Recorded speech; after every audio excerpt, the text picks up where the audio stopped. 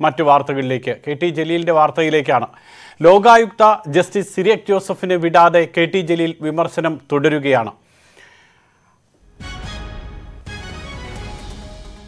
അലസ ജീവിത പ്രേമിയായ justice സിരിയക് Joseph ശമ്പളവും ആനുകൂല്യവുമായി കൈപ്പറ്റിയത് കോടികൾ എന്നാണ് ജലീലിന്റെ പുതിയ ആരോപണം. സുധാംശു രഞ്ജൻ എഴുതിയ ജസ്റ്റിസ് വേഴ്സസ് ജുഡീഷ്യറി എന്ന പുസ്തകത്തിലെ പരാമർശം ഉദ്ധരിച്ചാണ് ജലീലിന്റെ വിമർശനം. വിവരങ്ങളുമായി ടി ജി സജിത്താണ് ചേരുന്നത്. സജിത്ത് കഴിഞ്ഞ കുറച്ച് ദിവസങ്ങളായി ഫേസ്ബുക്കിലൂടെയാണ് കെ ടി ജലീലിന്റെ പോരാട്ടം ജസ്റ്റിസ് സിറിയക് ജോസഫിനെതിരെ. ഇതിപ്പോൾ പുതിയ ആരോപണം അലസ ജീവിതം അതോടൊപ്പം തന്നെ ശമ്പളം ആനുകൂല്യങ്ങൾ കോടികൾ കൈപ്പറ്റി. എന്താണ് പുതിയ വിമർശനം? സൂചിപ്പിച്ച പോലെ തന്നെ കെ ടി ജലീൽ തുടർച്ചയായി സിറിയക് ജോസഫിനെതിരായ ആരോപണവുമായി രംഗത്ത് വരികയാണ്. കടുത്ത വിമർശനമാണ് ഓരോ ദിവസവും ഫേസ്ബുക്കിലൂടെ ഉന്നയിക്കുന്നത്. ജലീൽ ഇന്ന് ആരോപിക്കുന്നത് അലസ ജീവിത പ്രേമിയായ സിരേഖ് ജോസഫ് കോടികൾ സമ്പാദിച്ചു എന്ന ആരോപണമാണ്. ഒപ്പം തന്നെ മുൻകാലങ്ങളിൽ ഇദ്ദേഹം വിവിധ കോടതികളിൽ ജഡ്ജിയായിരുന്നപ്പോൾ എടുത്ത സമീപനമടക്കം വിമർശന വിധേയമാവുന്നു. നേരത്തെ തന്നെ ആരോപണം ഉണ്ടായതാണ്.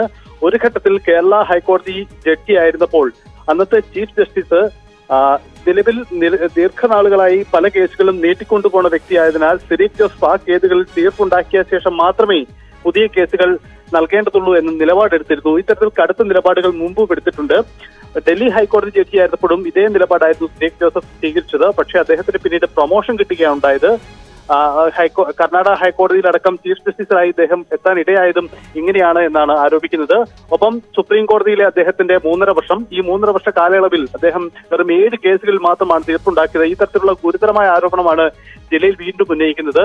എന്തായാലും ഈ സിരക് ജോസഫിനെതിരായ കൂടുതൽ ആരോപണങ്ങൾ ഉന്നയിച്ചുകൊണ്ട് ഈ വിഷയത്തെക്കുള്ള സജീവമായുള്ള നീക്കമാണ് കെ ടി ജലീൽ സജി സജിത്ത് ഇക്കാര്യത്തിൽ ഒന്ന് ജലീൽ ഒരിക്കലും ഒരു മാധ്യമങ്ങൾക്ക് മുന്നിൽ വന്ന് ഒരു വാർത്താ സമ്മേളനം നടത്തി രേഖകളൊക്കെ പുറത്തുവിടുന്ന രീതി കാണുന്നില്ല. മറിച്ച് ഫേസ്ബുക്കിലൂടെ ഒരു ഒളിപ്പോർ രീതിയിലാണ് കാര്യങ്ങൾ പോകുന്നത്. അങ്ങനെ പോകുമ്പോൾ പോലും ഇപ്പോൾ കാനം രാജേന്ദ്രൻ ജലീൽ ഒറ്റയ്ക്കൊരു പ്രസ്ഥാനമാണല്ലോ എന്ന് പറഞ്ഞ് പരിഹസിച്ച് അദ്ദേഹത്തെ മാറ്റി നിർത്തുന്നുണ്ട്. പക്ഷേ സി പി എമ്മിന്റെ ഭാഗത്ത് നിന്ന് കാരണം പാർട്ടിയുടെ പിന്തുണയോടുകൂടി ജയിച്ച ഒരു എം എൽ എ ആണല്ലോ. ആ എം എൽ എ ആണ് ഒരു ഇടത് സർക്കാർ നിയമിച്ചിട്ടുള്ള ലോകായുക്തക്കെതിരെ ഇത്തരത്തിലുള്ള വിമർശനം ഉന്നയിക്കുന്നത്. പൂർണമായും തള്ളാനും കൊള്ളാനും സി പി എം ഇക്കാര്യത്തിൽ തയ്യാറാകുന്നുമില്ലതാനും ജലീലിന്റെ ഈ വിമർശനങ്ങളെ എങ്ങനെയാണ് പാർട്ടി വിലയിരുത്തുന്നത്?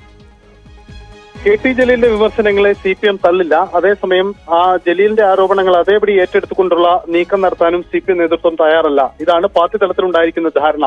കെ ടി ജലീൽ ലോകായുക്ത വിഷയത്തിൽ കോടതി പരാമർശത്തെ തുടർന്ന് രാജിവെക്കേണ്ടി വന്ന വ്യക്തിയാണ്. സ്വാഭാവികമായും അദ്ദേഹത്തിന് വ്യക്തിപരമായ പല അനുഭവങ്ങളും ഉണ്ടാകും. അതാണ് അദ്ദേഹം തുറന്നു പറയുന്നത്. എന്തായാലും ഇക്കാര്യം ഇപ്പോൾ ഏറ്റെടുക്കേണ്ടതില്ല എന്നതാണ് ഈ വിഷയത്തിൽ സി പി എം നിലപാട്. രണ്ട് കാരണങ്ങളുണ്ട് സി പി എം ഇത്തരമൊരു നിലപാടെടുത്തതിൽ. ഒന്ന് നിലവിലുള്ള ഒരു നിയമ ജുഡീഷ്യറിക്കെതിരായ ഒരു നേരിട്ട് ഏറ്റുമുട്ടലിന് തുല്യമായി മാറും ഈ ജസ്റ്റിസ് ലോകായുക്തക്കെതിരായ ഇപ്പോഴത്തെ ലോകായുക്തയായ സിറീഫ് ജോസഫിനെതിരായി നേരിട്ട് ആരോപണം ഉന്നയിക്കുന്നതിലൂടെ സംഭവിക്കുന്നത്.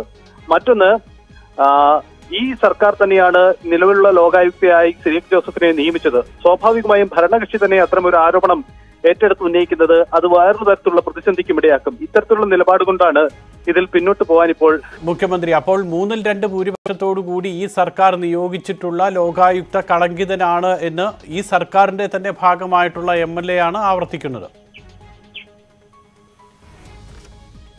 ആ തീർച്ചയായിട്ടും. അതാണ് ഇതിന്റെ പ്രത്യേകതയും. കാരണം ഈ വിഷയത്തിൽ സി പി എം നേരിട്ട് ജലീലിന്റെ ആരോപണം ഏറ്റെടുക്കാത്തതിന്റെ കാരണവും അത് തന്നെയാണ്. പക്ഷേ സർക്കാർ തലത്തിലെ അല്ലെങ്കിൽ സി പി എം കേന്ദ്രങ്ങൾ നൽകുന്ന വിശദീകരണം മറ്റൊന്നാണ്.